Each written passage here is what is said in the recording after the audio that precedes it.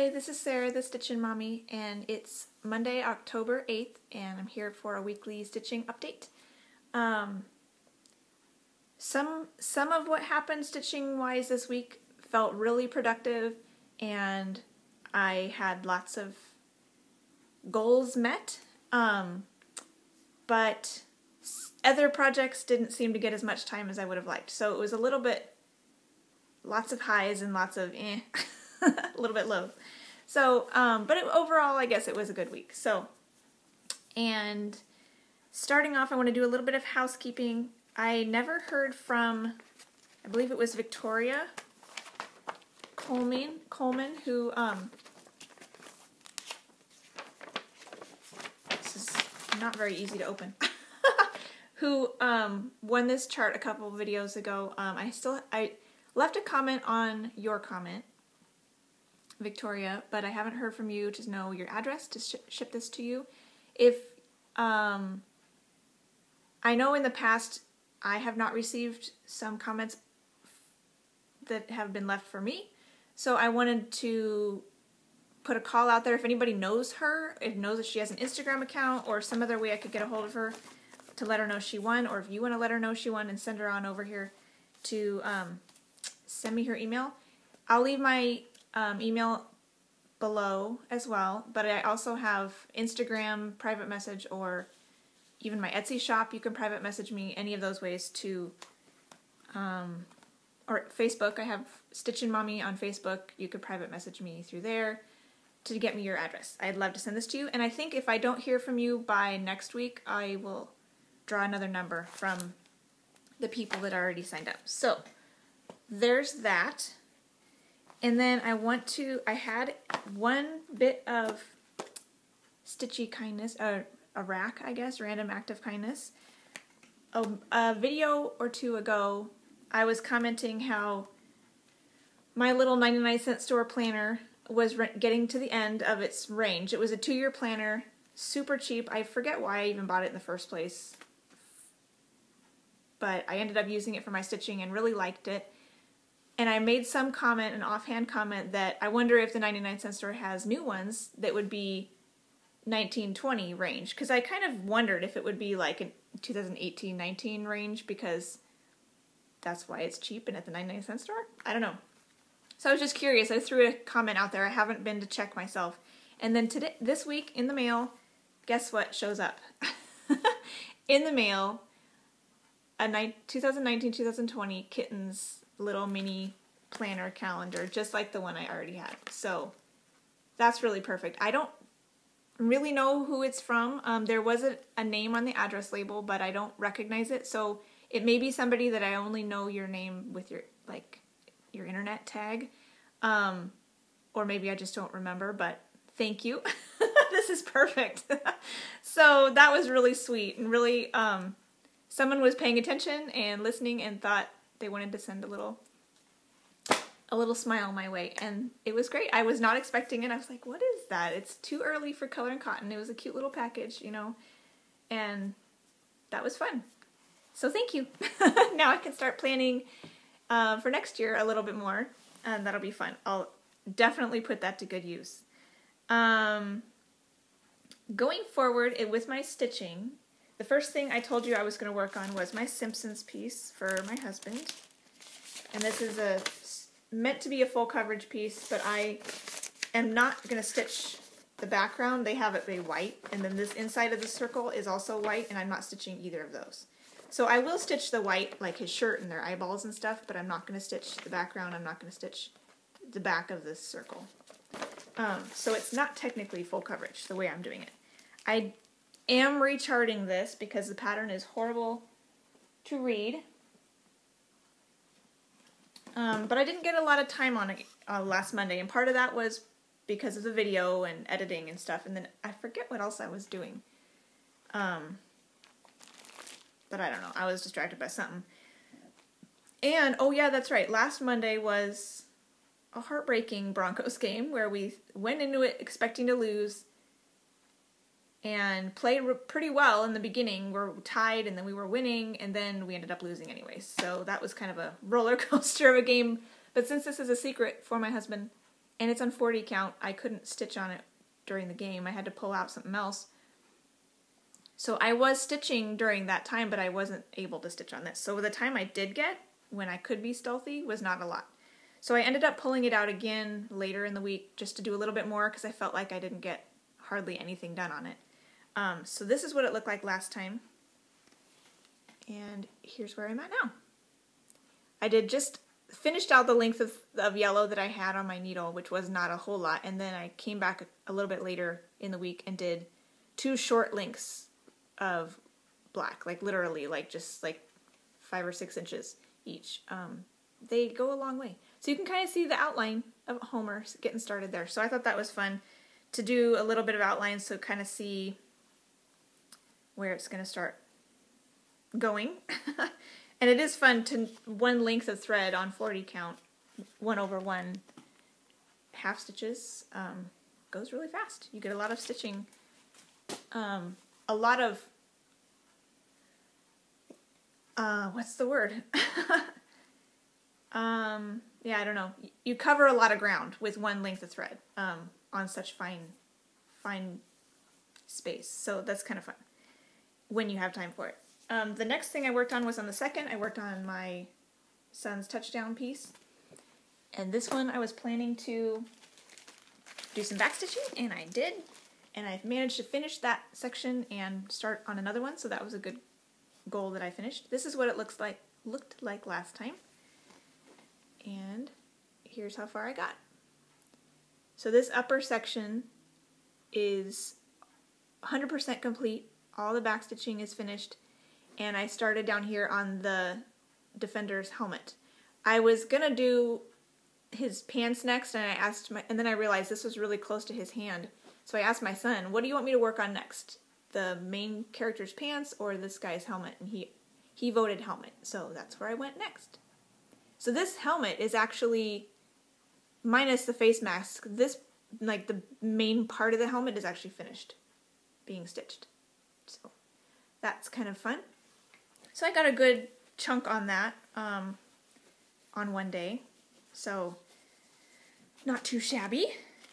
Then I pulled out my daughter's piece, Snow Queen by Shannon Christine Designs.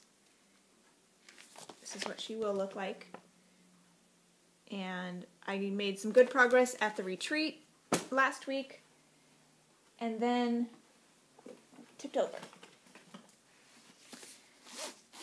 Realized, you know, retreat amounts of stitching doesn't really happen in real life. And I knew that, but it was kind of, and I got so distracted by all sorts of other things, which are good things and some things that needed to happen. And I think because I had a four day rotation on this, there was more cushion to feel freedom to go fritz off and do other little things that I had been thinking about without feeling like I was going to compromise my stitching time, which it really did because I didn't get a a full four days of stitching on this because I was doing other things, and I'll show share those later. But um, this is what this looked like last time. And here she's at now. So my, I ideally I was hoping to get this section completely finished and then even work on this section. And I did not quite get this section finished. It is stitched and backstitched, but it does not have all of these little like Kreinik starbursts around the silver. I did this length down here, but see these ones don't have them yet. All the silver beads will have these starbursts, and they're that's not all complete yet. So it's almost finished, but not quite. But it is a good, uh, a good amount of progress, I suppose. Um, and looking forward to getting this out again. At least, at the very least, I'll probably give it another four days at the beginning of November. Um, just like I did this time. And then, depending on how quickly I can finish off the um, some of my other two other Christmas finishes I want to finish. Um, will de- will determine when I pull that back out to focus on a finish for that. If my Christmas pieces are taking too long, I might bring this out just to make sure it gets done before the beginning of December so I can finish it for my daughter's birthday. or if my Christmas pieces finish early, I can get it out early. So I don't know.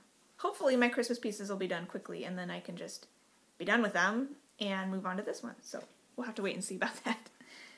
Um, after I spent some time on that, I worked on.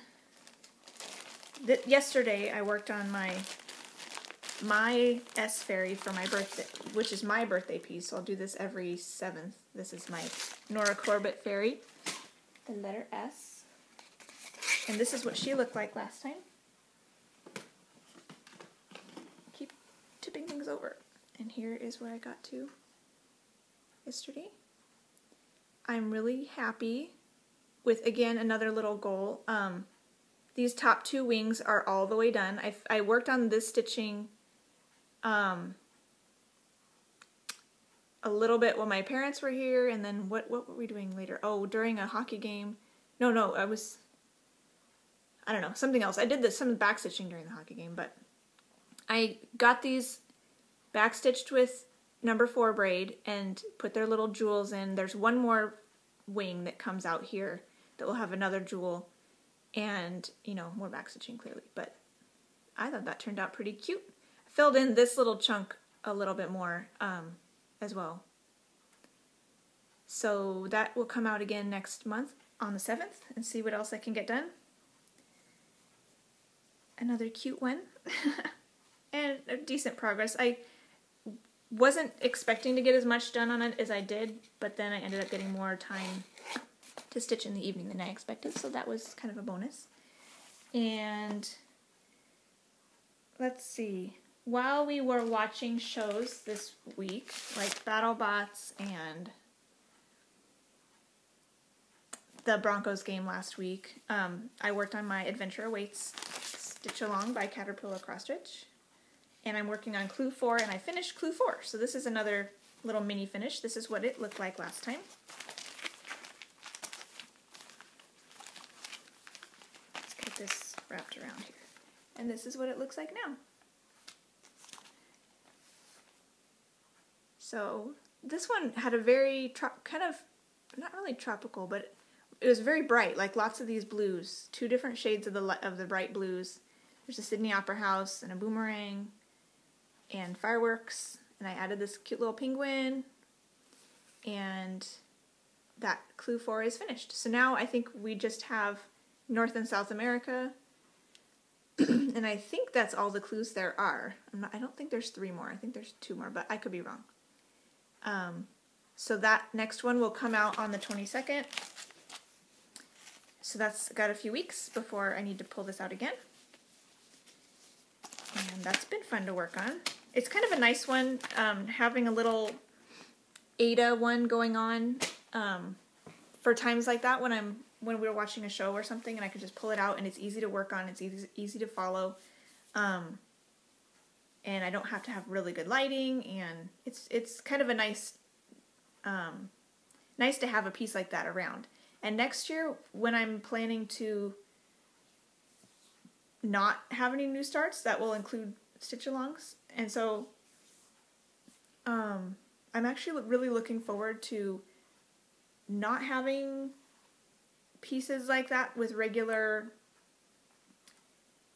that I need to keep up with regularly. I will probably be working on some Etsy pieces that way, but um, things like the Storytime Sampler, which is coming up this month, um, it'll be nice to not to have those anymore next year because I can find a piece that I currently have that's an Aida piece. that's a fairly or or even linen, but something that's easy to count um, can be my go-to in front of the TV piece, and then I'll make progress on one of my regular WIPs on, in the course of normal life. So I'm kind of looking forward to having my bonus extra pieces be more of my WIPs just to continue to whittle down all of those things. So even some small yeah, full coverage isn't the greatest for in front of the TV, but that can full coverage can sometimes be a travel project in the car. I have done that before. Um, but other things are nicer because then you see progress faster. So, anyways, we'll cross those bridges when we get there and see what what WIPs I have left um, at the end of the year. So, um, last last week I was working on June and was almost finished with it, and I finished it this week, like I hoped I would.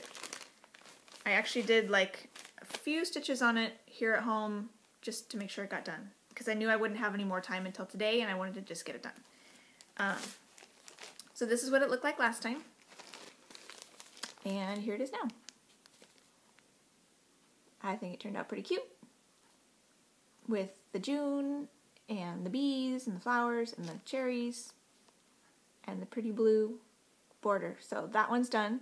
Now I can get this back to Shelly um, to figure out if I'll mail that or visit or something to get that back to her.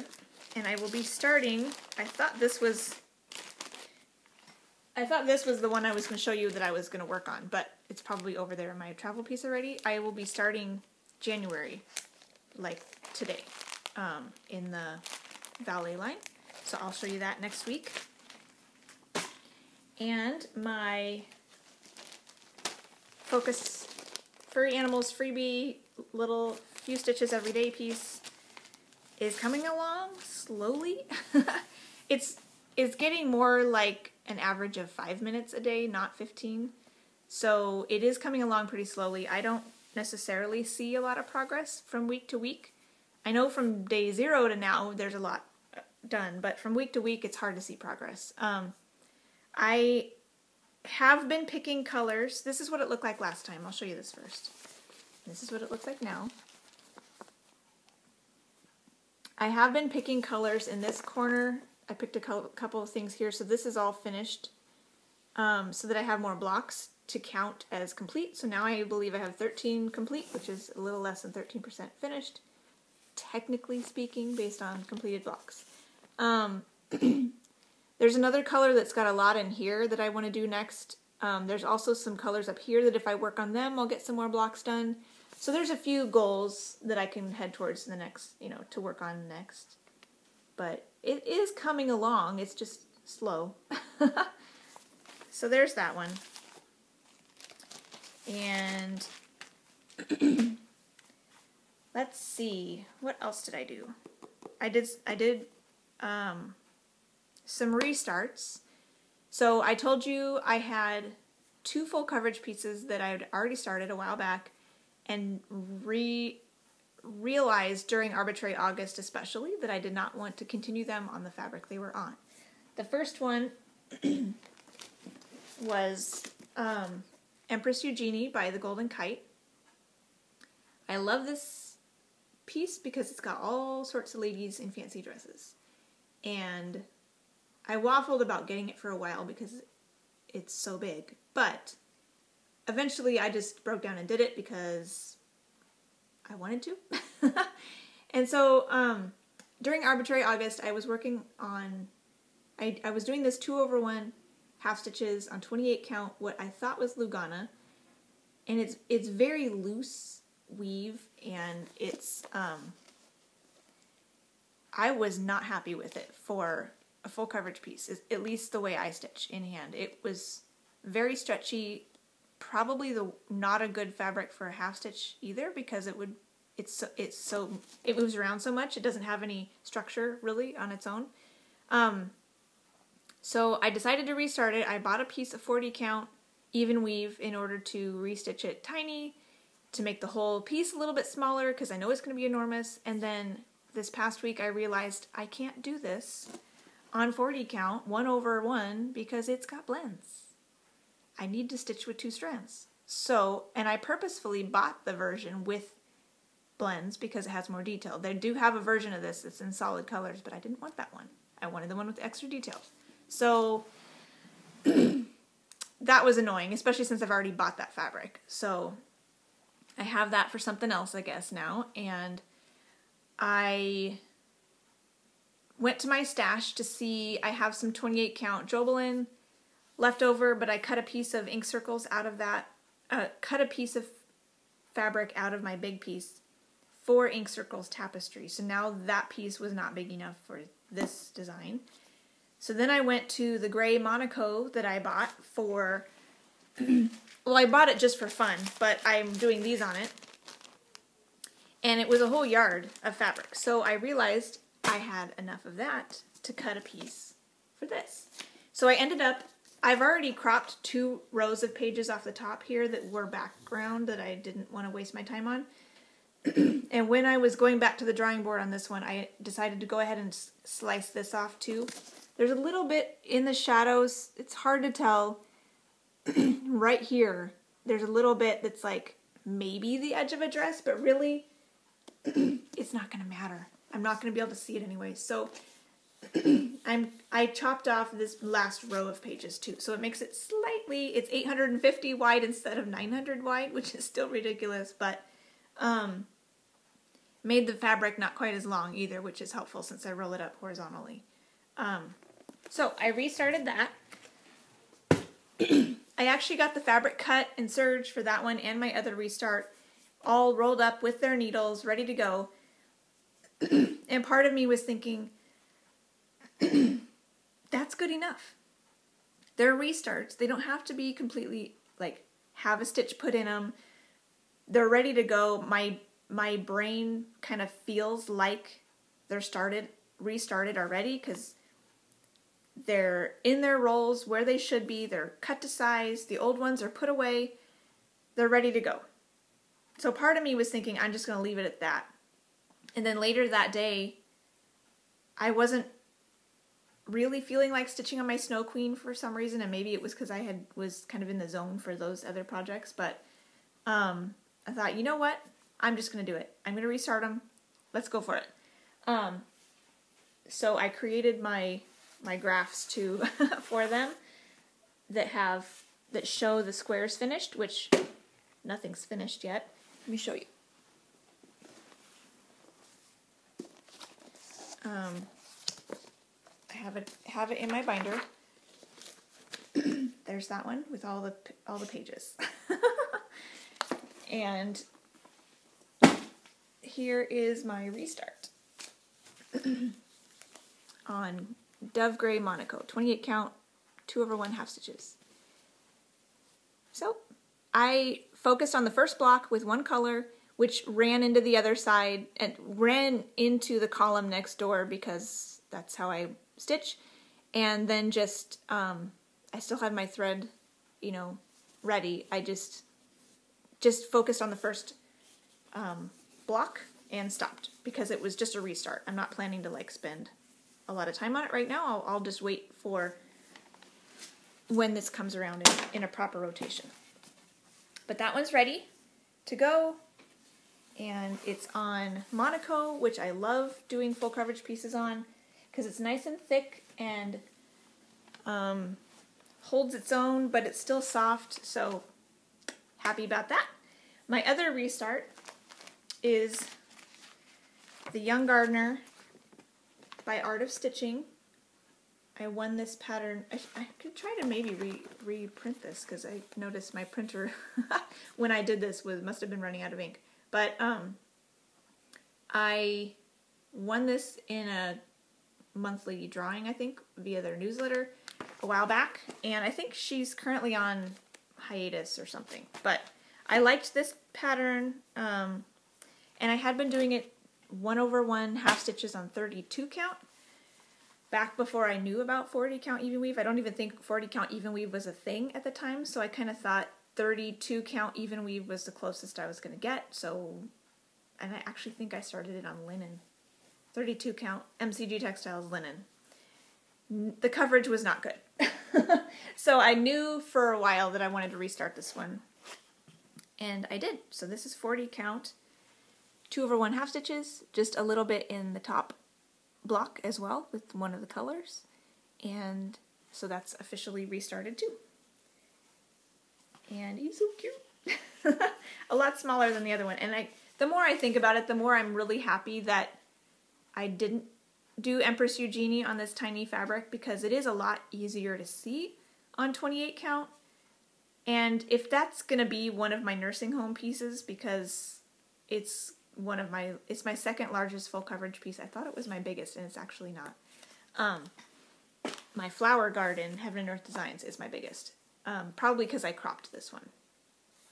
Um, But if it's going to be a nursing home piece, it needs to be a little bit bigger. And so all of the pieces I have on 40 count um, are small. Like the designs are not the large pieces. All the large pieces I have are either on 18 count or 28 count or 25 count. So that's a little bit more doable.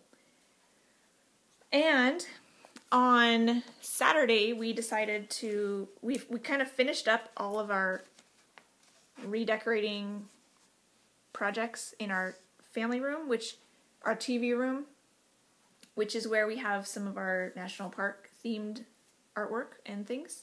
My frosted pumpkin stitchery, the national park birthday SAL. I can't remember what the original pattern is called. I'd have that framed and on the wall in there already. And the one from this past year, which was Greetings from the Parks, um, I have had unfinished, or it's been finished, stitched, but I, ha- I haven't framed it or anything because I didn't know what I wanted to do with it until we were done with that room. And it's been eating away at me because usually I finish things immediately when I'm done stitching. So I finally got this up in a frame and it's it can go in there. So this is Greetings from the Parks by Frosted Pumpkin. It's on 18 count beige Aida that I got on clearance at Joann's. The only changes I made were this, these border colors were, and this heart here. I think those were color and cotton, maybe? Um, because I thought that gave it a little bit more depth. And this is a frame I found on clearance at Walmart, and I'm using the kickstand, but it has um, it has wall mounts if I decide to do that at some point. But right now I am just sitting it on the top of our media cabinet. So that's that. It's slightly crooked in the way I laced it. I laced it around the mat board and just popped it in there. That's kind of how I usually do stuff. Um, the mat that came with it, this is a 5x7 mat. Because this is fairly solid stitching, um, you can't really you can't see where the mat cutout is to make it look a little bit different. So I just laced it around that piece of mat board and called it good. So it's done and on display and that's a finish. That's an exciting goal. That's been it's nice now at the end of the year to kind of tick tick tick all these little boxes that have been kind of sitting out waiting to be done. So, I think that's it for stuff I did this past week. So going forward, I'm going to work on my Storytime sampler for a few days. I think I have slotted four days on this. Ideally, it would be nice to get it done sooner than that, um, but we'll see. Sometimes four days isn't isn't long enough, but this is what that looks like. I am going to be down here for October. However, I moved Anne up here, and I'm going to be doing Pride and Prejudice. That's my own chart. I took the Pride and Prejudice characters from the Happily Ever After style that was last year and squished them in here, kind of like these guys. and I think I put some of the topiaries in there too that were in the Happily Ever After ones. I kind of tucked them in behind the characters. And up here, instead of this, I'm going to be using the border from this one. So instead of the castle, I kind of recharted a little house to be a similar color scheme to the Pemberley house that's in the other one. The other Happily Ever After is like a big chunk compared to these little guys. So they have a big old house and a lake and everything in that one, which wouldn't fit. Um, but I have a tiny little house up here and then the two characters. So can't really show you what that looks like because it's just a chart that I printed out. But I will be working on that this week hopefully to finish it. And maybe get a little bit more done on the banner. This is what this this looks like now. And this will be fun to see finished as well as the year comes to a close. So that's where that is.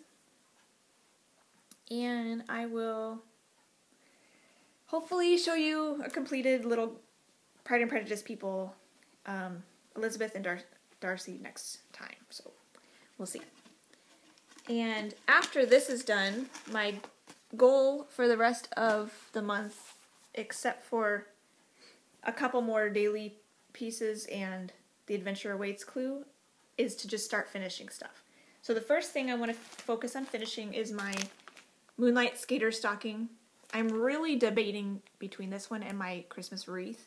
They're both really close to a finish, but kind of, I kind of just want this one done, and I, I may want the other one done too, but I think because this is needlepoint and they're half stitches, it might go a little faster. And there's not a lot of back stitching, whereas the other one has a tiny bit of cross stitch and a whole lot of back stitch. So I'm gonna just go with this one for now, and if it the when the Storytime sampler's done, if I'm feeling the other one a little bit more, I might switch.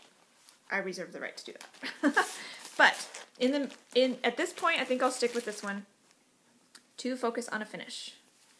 So here's where I'm at with this one right now. And I'm going to go ahead probably pretty soon and mark it where I want it to stop so that I can just start filling in along the edges. It's all curly. Um, because I'm going to make it a six inch square like pillow. So it'll be like this big, not, not the stocking anymore, and just kind of fill in the rest of the ice around it. I'm going to cut off part of this boy, cut off the dog. You know, I'm not going to like do the outside stuff because then it'll look like something's missing. I'm just going to do more ice. So hopefully that will go fairly quickly and should, hopefully it won't take too long to get that done and ticked off my box. No more needlepoint stocking on my WIP list. and then we can enjoy something cute for Christmas this year. And the the wreath hopefully I can get done before Christmas too. So um and I think that's all I have planned for this coming week because of there's only I'm going to put some good time on both of those. So you'll see um, the start of January um, as well, which will be my travel piece. I'm trying to think if there's if I feel like next time I don't have a whole lot to show, I may wait two weeks to do a video, but and maybe do a stitch with me instead on something. But we'll see. We'll see if I come back um, next week um, for a proper update or something else. So we will wait and see. In the meantime, I hope you have a wonderful week and enjoy what you're stitch stitching on and hopefully you meet a few of your goals as well and I will talk to you later. Happy stitching!